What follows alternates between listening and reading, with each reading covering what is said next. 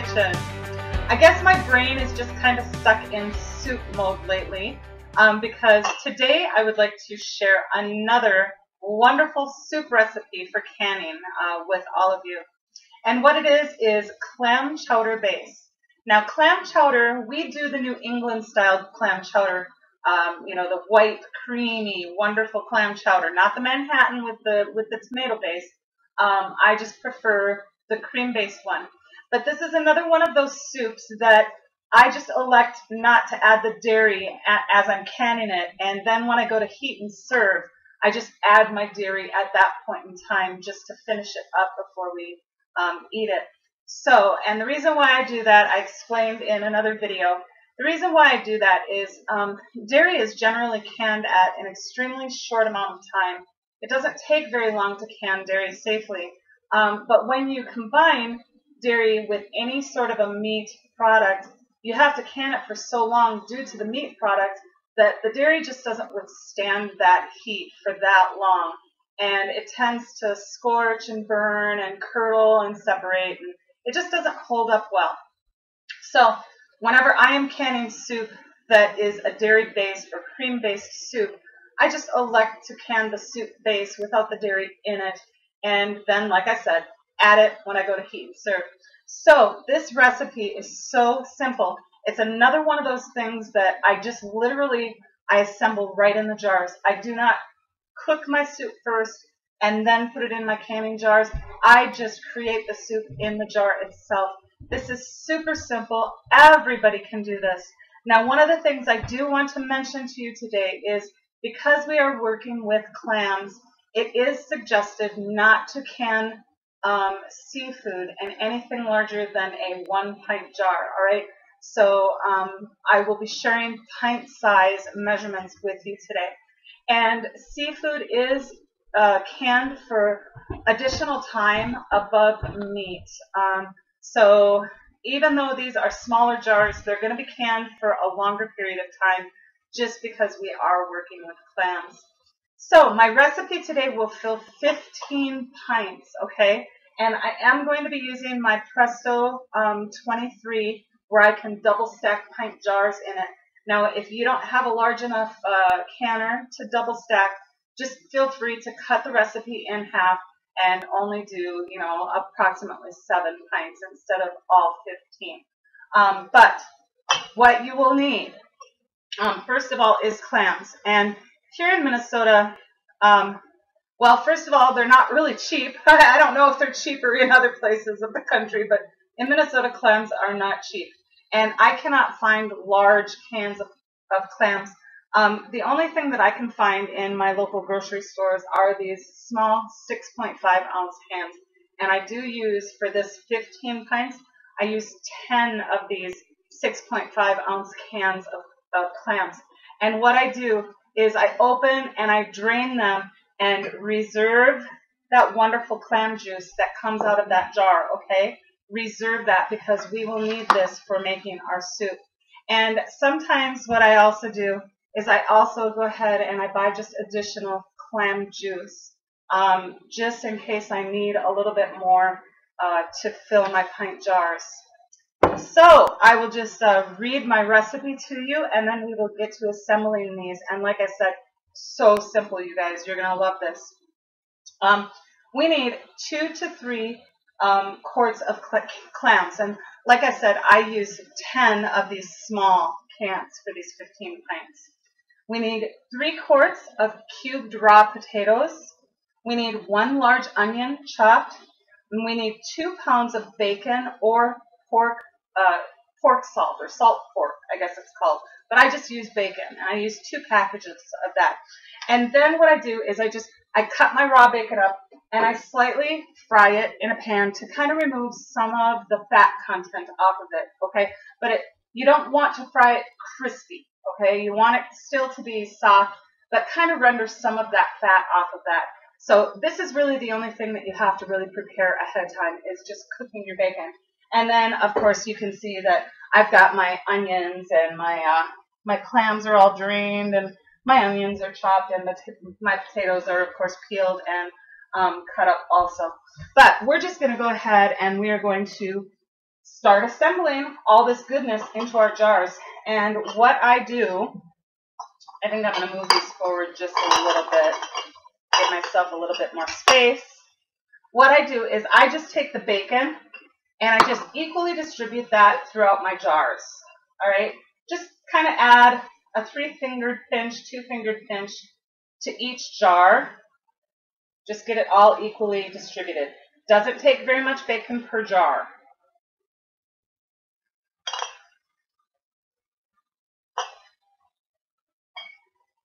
Bacon or salt pork if you're doing the salt pork.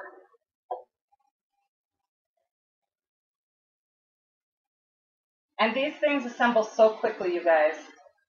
It's just amazing. In no time at all, you're going to have 15 wonderful pints of soup for your shelves and for the future.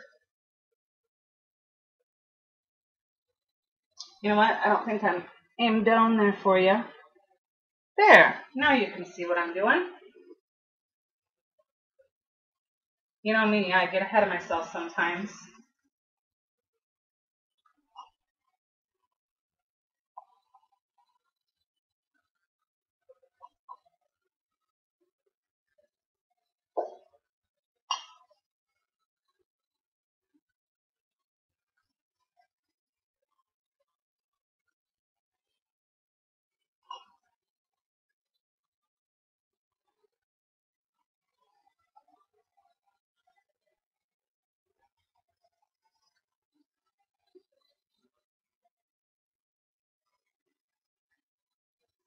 Okay.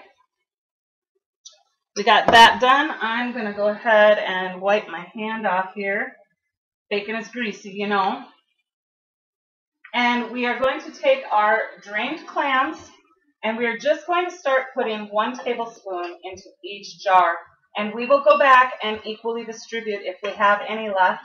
We'll go ahead and equally distribute the rest of it into the jars also. But I just with the clams, you know, because I'm, I don't have a whole lot of excess um, clams, I just start with one tablespoon per pint, and then I go back and, you know, add more to each one.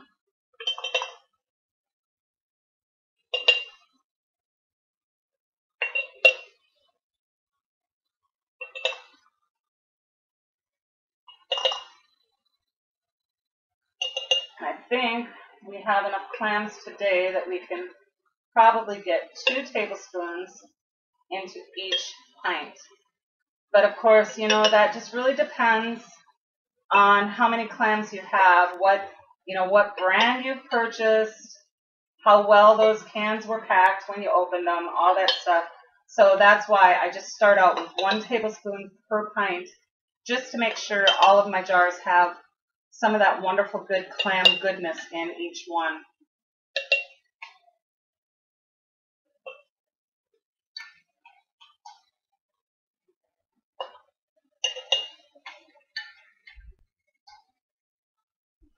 Alrighty.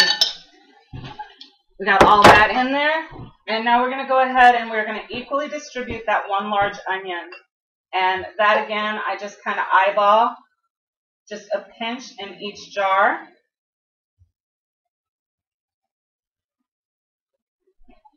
And I might not even use all these onions. You know, clam chowder is one of those things I guess I don't want a really strong onion flavor in because I like the flavor of the clam and uh, clams can be easily overpowered. And that combination of the clam and the bacon is just, oh, you guys, it's fantastic.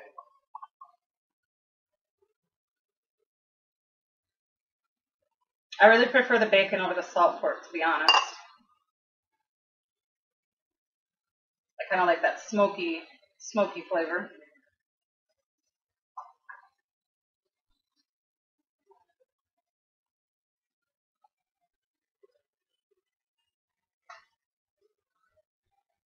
Okay, it doesn't look like I'm overdone in a lot of my jars, so I'm just going to go back and add just a few more.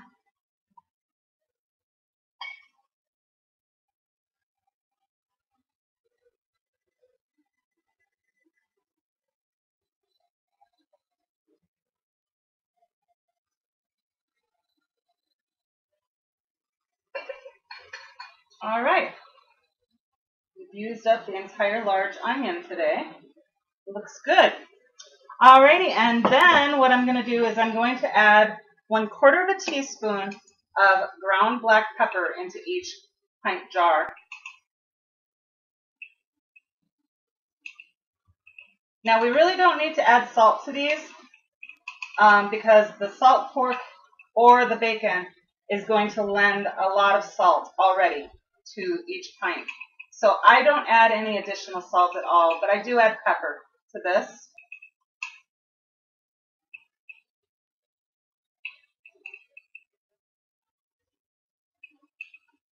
And one quarter of a teaspoon per pint.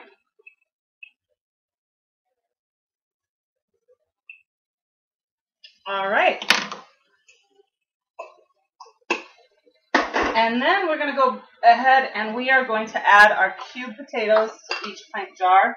And we will fill to approximately one inch headspace.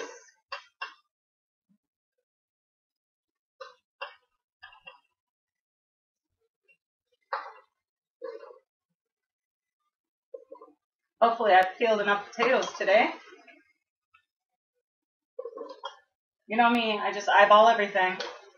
And I thought, oh, that looks like enough to fill all those jars.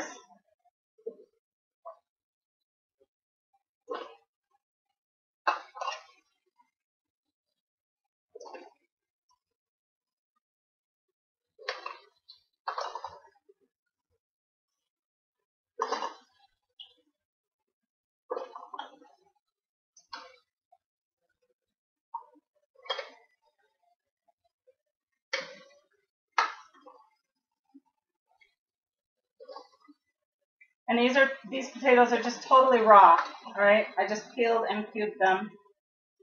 I think I did end up rinsing these a couple of times. You know, when you cube potatoes, a lot of starch comes out. So I did um, add, I rinsed and added fresh water a couple of different times. But in this particular recipe, it really doesn't matter because when you add that clam juice, it's kind of cloudy anyway. So if you have a lot of starch in your potatoes, that's not a problem at all. And these are just regular russet potatoes. You can do the potato of your choice. Russets really hold up in this recipe and at this amount of time uh, that is required for canning.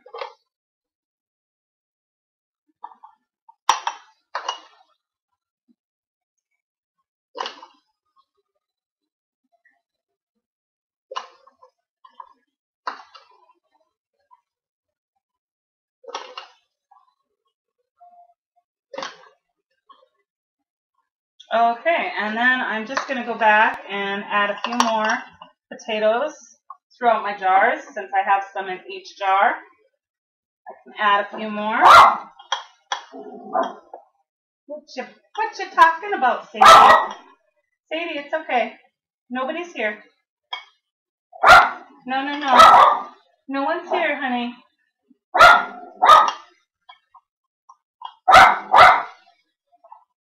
Well, I'm not looking out the window. How do I know nobody's here? We're not expecting anybody to be here. Sadie. Good girl. Good girl.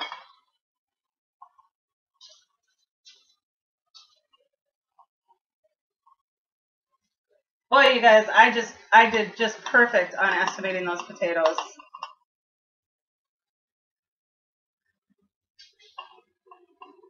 Two or three quarts of raw cut potatoes. All right. I have a few more chunks that I can fit in there. Perfection. All right, guys. Now all we are going to do is we are going to take that reserved clam juice and fill our jars to one inch headspace.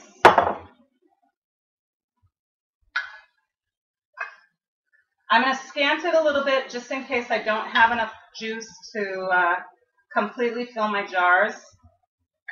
And if I don't have enough to completely fill my jars, then I'll add just a touch of water, which is no problem at all. But we want some of that clam goodness in each and every jar.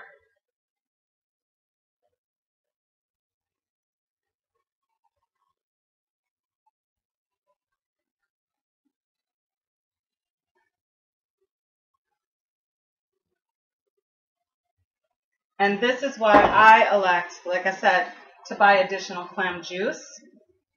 Just because I really, really like that heavy clam flavor in my clam chowder.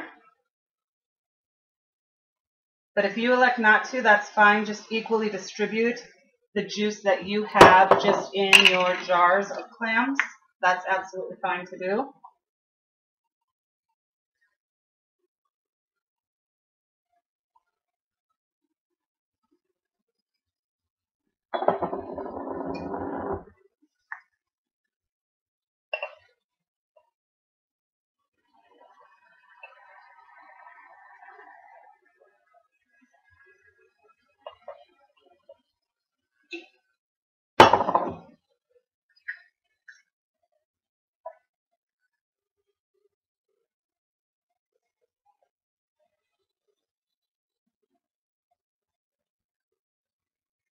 All right. I am totally out of clam juice. I used the reserve juice um, from all of my um, cans of clams, and then I went through four of these bottles, and I do need a little additional water today, so I'm going to run and fill up my quart jar with water, and I will be right back. All right, guys, so I cleaned up my area a little bit since I had to run after a little bit of water, and uh, we'll just finish filling each one of our jars to one inch headspace with water.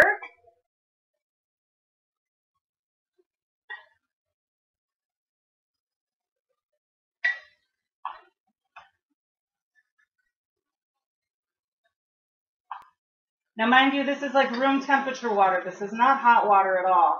Everything is room temperature. Nothing has to be boiling for this.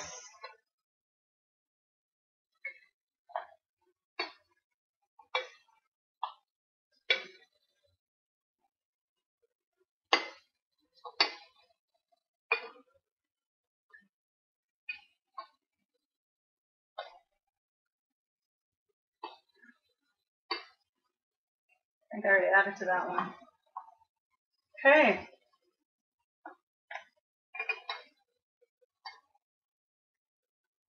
We are at our one inch headspace. Now you can see that some of my potatoes aren't necessarily covered. Let's see, where's a good example? This one is a good example. You can see my potatoes aren't exactly necessarily covered with that one inch headspace. That's okay, guys. Everything's going to cook down. Those potatoes are going to be covered in the final end result. So don't worry about that. But leave that good one inch headspace because this does kind of bubble up in the canning process. All right. Just going to settle some of those down in there a little bit better.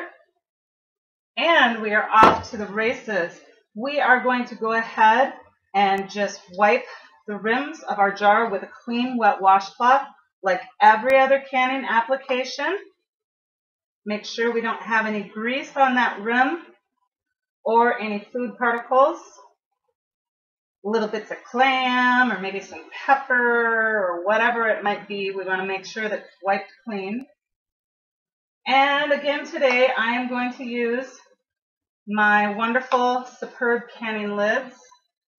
And when I'm using my Superb lids, I do not tighten them as tight as other uh, other brands of canning lids because the Superb have so much sealing compound on them, wonderful thick sealing compound, but they do kind of have a hard time venting properly. And so I don't crank down my rings um, fingertip tight like uh, with all other brands. I leave them just a tad looser so that they can vent. And then after the process, I just gently snug them up when I'm removing them from the canner. So there we have all of those wiped. We are going to get our prepared washed lids onto our jars.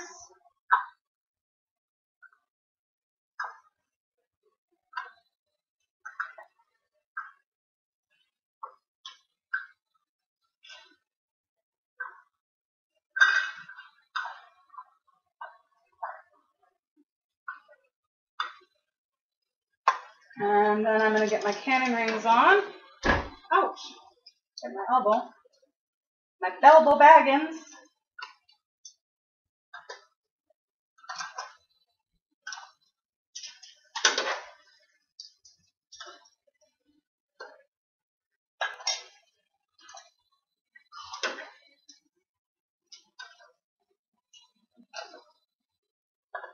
Okay, I'm going to have to run after one more ring. But now, like I said, I don't tighten these like other other uh, canning lids. What I do is I just tighten them to the very first sign of resistance. And then I'm going to get them into my PC. Now we are going to PC these pints, and I know this sounds terribly long, but remember that this is the rule with seafood. We are going to PC pints for 100 minutes. Yes, that is longer than even quarts of meat or beans. Um, 100 minutes sounds like overkill, um, but that is what is suggested for seafood. so I'm just going to go ahead and finish getting these all in the canner. Now, like I said, I've got my uh, Presto 23 today so that I can double stack my pint jars. And I will place a rack in between the two layers.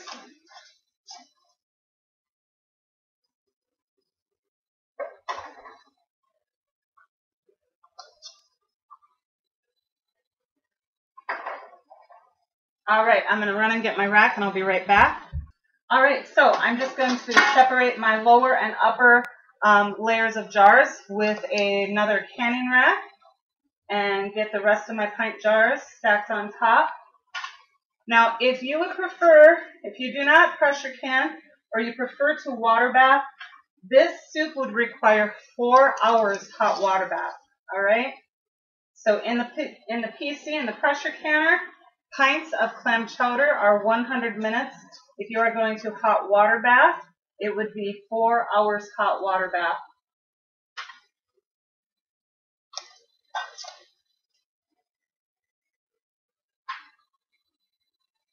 Beautiful.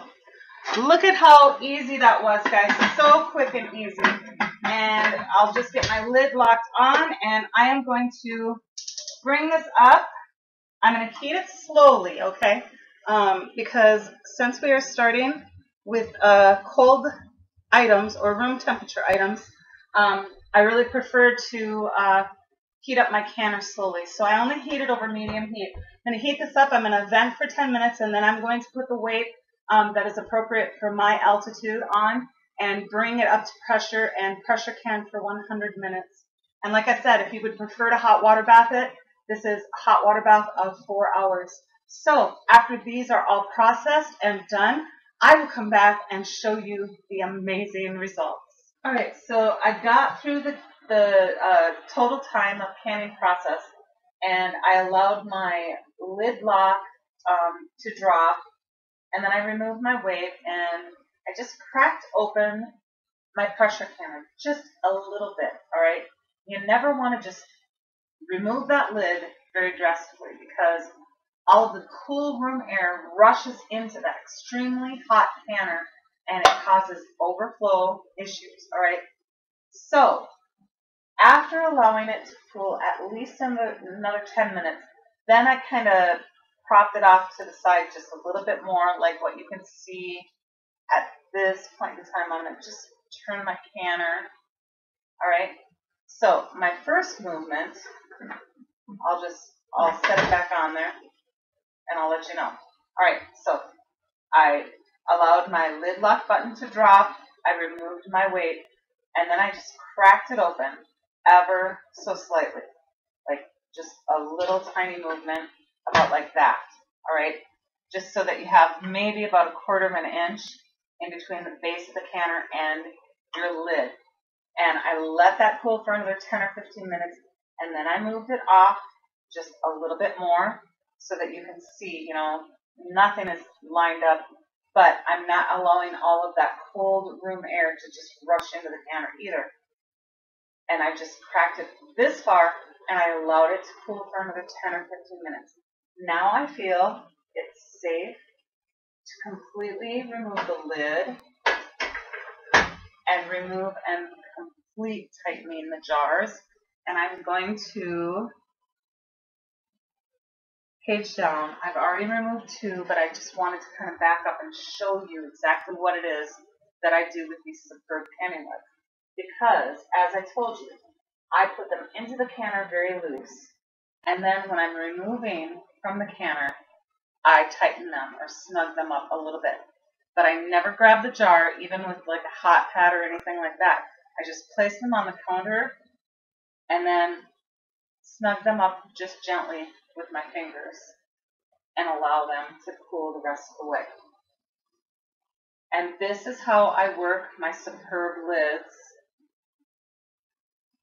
And you guys, I have never had a failure with these things.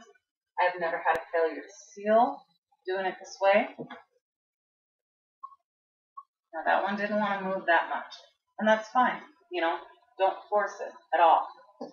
I'm going to tip up just a little bit more so that you can see. I'm going to remove, well, if I can find,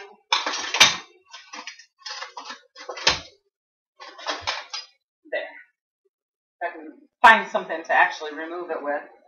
Then I just take that separator out, you know, that separates the two layers. Take that out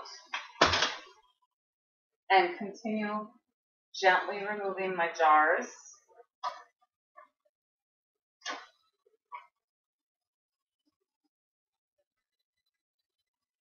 And just give them just a gentle snug up with three fingers.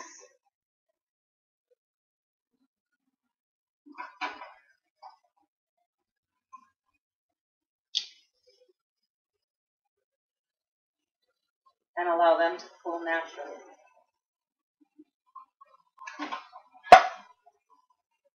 And you can hear the lids popping. Just amazing seals on these lids. But you don't want to do this too quickly either. If you don't allow your canner to cool off slowly, you will have issues. So make sure that you do it in stages. Just whoop, barely crack open that lid and give it about 10 or 15 minutes and then crack it open a little bit further. Give it another 10 or 15 minutes and then carefully remove those jars and gently snug up those rings.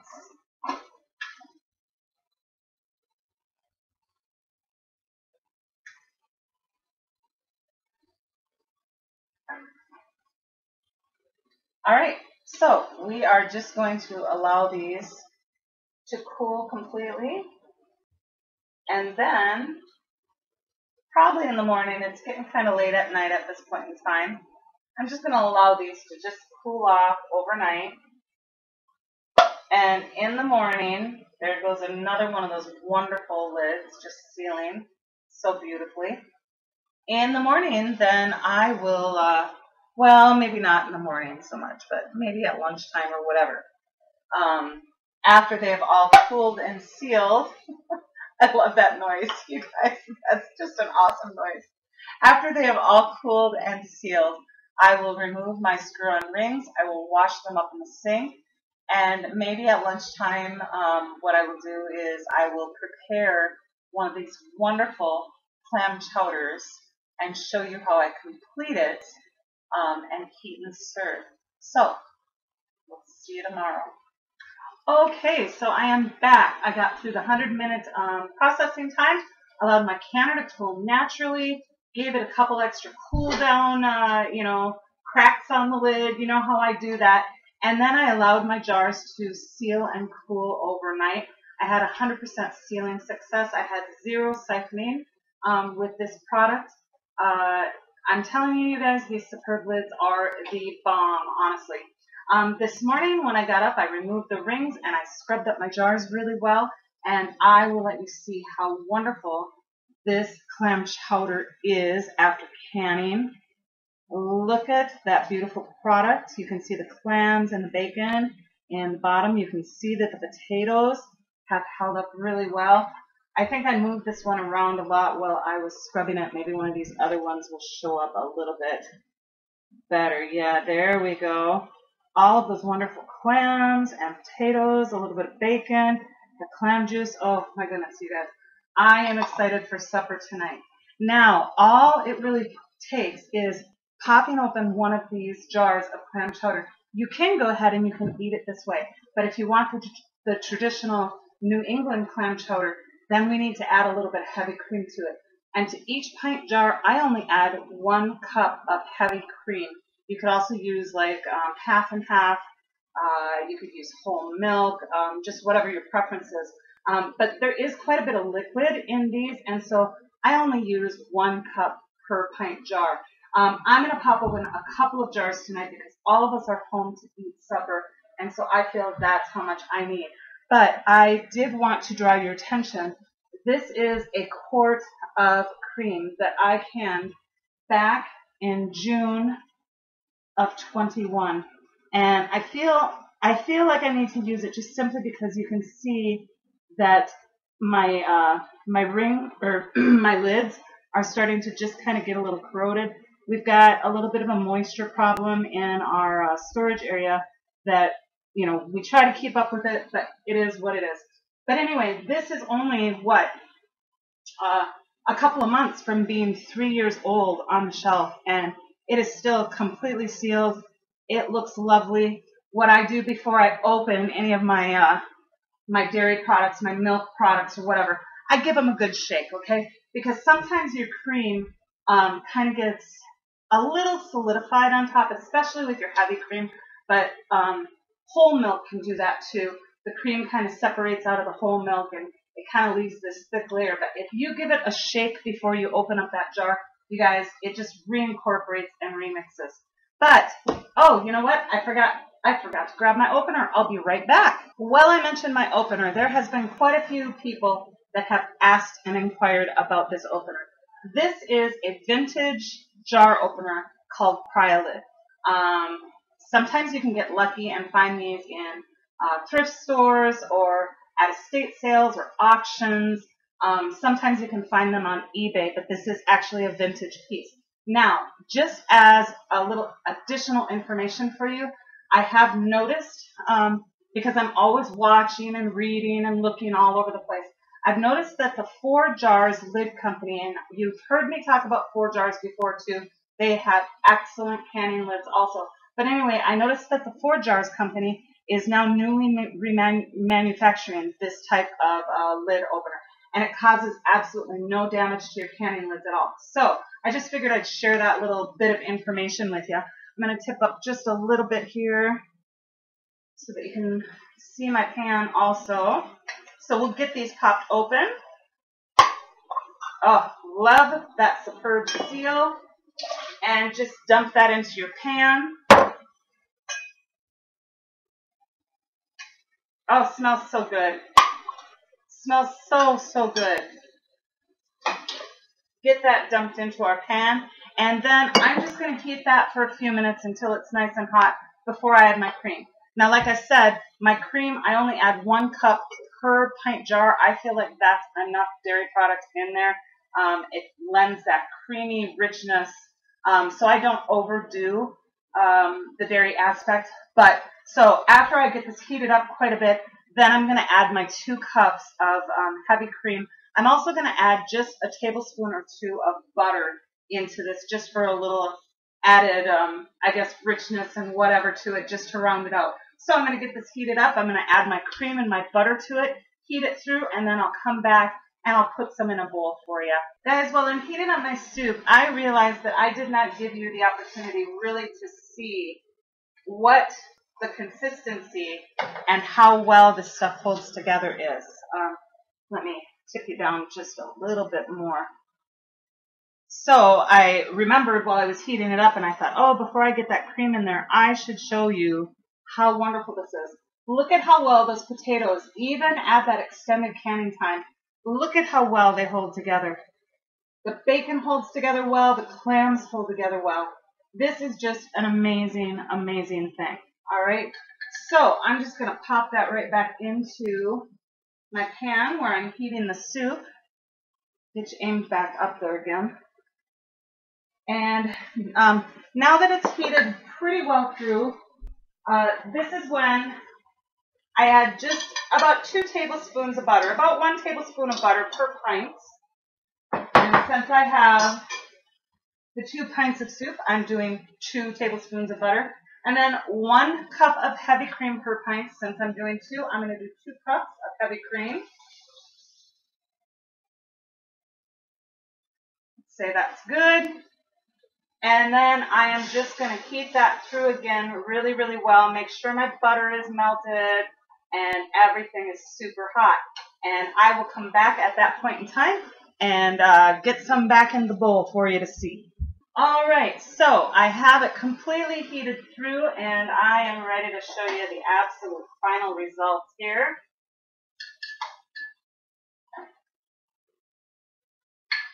Oh, you guys, so yummy. If you are a fan of uh, clam chowder like I am, you are really going to love this one. And so quick and easy, you guys. Absolutely. Just easy to do. Look at how wonderful this soup is. Amazing chunks of potatoes, chunks of bacon, your clams in there. Just beautiful. So I like to, of course, put a few little oyster crackers on mine. A lot of my soups I like to have oyster crackers. uh, it's just one of my little things. One of my little glitches in life, guys. Gotta have those oyster crackers, I guess. anyway, we'll give this a little taste. Super, super hot. I'm going to go ahead and I'm going to grab one of those wonderful potatoes, okay? And try not to burn my mouth like I did on the chili.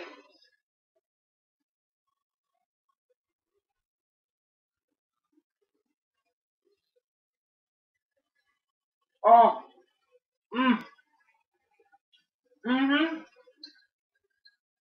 Absolutely delicious. And that potato you have to chew it, guys. It didn't go to mush at all, even with the extended canning time. Now remember, I used russets. I cannot speak for, you know, um, yellow potatoes. Those are a little bit softer. I don't know how red potatoes would hold up, um, but the russets hold up just wonderful. The touch of bacon in there is amazing. And remember, you could use salt pork if you prefer to do that. And the bacon in this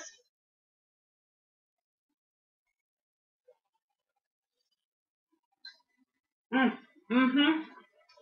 You have to chew that too. So nothing goes to mush. I think I left my burner on. I did. I better stir that so it doesn't scorch for the guys. They've got to eat this too. anyway, you guys, so easy. Now this isn't one of the cheapest things to do. You know, clams are pretty expensive, but it sure is simple and it sure is wonderful to have homemade clam chowder on your shelves for any meal at any time. It is a good, good thing. Thank you so much for spending your time with me again today. God bless you all, and happy canning, everybody.